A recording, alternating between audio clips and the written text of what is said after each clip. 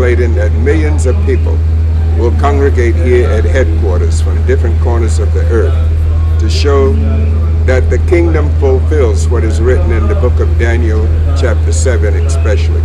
All nations, all tribes, all kindreds, all people, all tongues. Yes, he has succeeded in expanding the kingdom's assets, mobile and immobile, beyond our logical evaluation.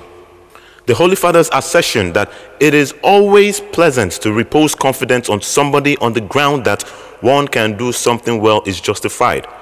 Today, the confidence that the Holy Father, leader Olumba Olumba Obu, reposes on our divine celebrity, His Holiness Olumba Olumba Obu, as the only one destined to take the kingdom to the next level is justified beyond every reasonable doubt. Because the King of Kings has already exceeded the limit of expectations. He has taken the kingdom and, of course, all of us to higher levels, higher than how we were. We would even invite the world to come and see how God operates the modus operandi of God Himself. Here there is progress and it is vivid. Today we have governors in the world, they are saying, What have you done with the monies given to you? What have you? If you come to the kingdom of God, like we are here, you could see for yourself that indeed, whatever resources are available to the kingdom are plowed into things that are visible, projects that are visible. If anybody should come to Ambo today, if you were here some 20, 10 years ago, I'm sure like everybody will see, the transformation is vivid and glaring. During one of his sessions with the virgins, His Holiness Olumba Olumba Obu gave a lead into the secrets of his successes when he made a stunning revelation that the secret I learned early on from my father was to run scared and never think I had made it. My father also told me Never measure the height of a mountain until you get to the top, and then you will see how low it is. His Holiness told the 144,000 virgins that the feeling that there is more room for improvement always drove him to forge ahead for greater accomplishments.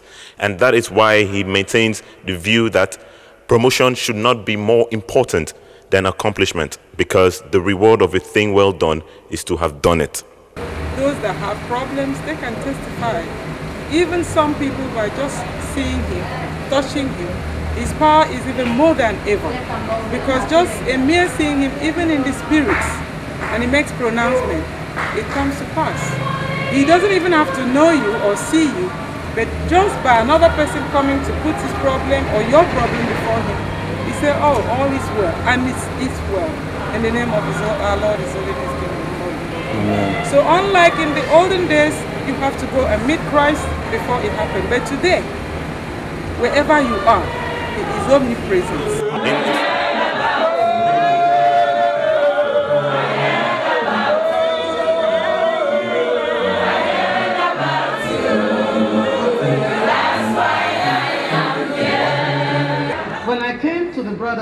Very first time, I could hardly kneel down and pray along with everybody. It was a hell of a nightmare for me. But when I came to the Brotherhood and explained my and explained my problems to the Most Holy Father, he asked me to have faith that my problems are over. That was it. And believe me, today the problems are over. Year by year, we are becoming better equipped to accomplish the things we are striving for. But what are we actually striving for?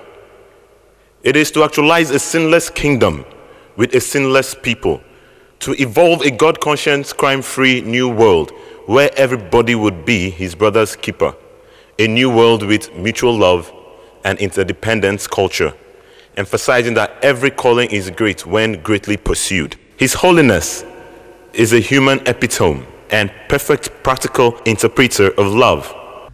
But look at him. Look at God Himself. He has given you all the things you need to live by.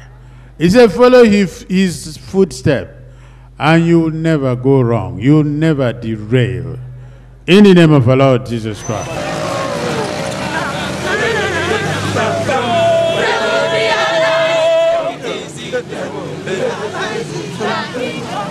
In the characteristics of a supernatural leader, His Holiness Olumba Olumba Obu leads his flock with practical examples, unlike the worldly teachers of the Word of God, who ask their congregations to do what they say and not what they do. So many Christendom are always uh, find themselves in a, a, a situation of you know being confused, wondering where they are. But we, members of Brotherhood of the Cross and Star, have always felt the impact and the presence of our Redeemer.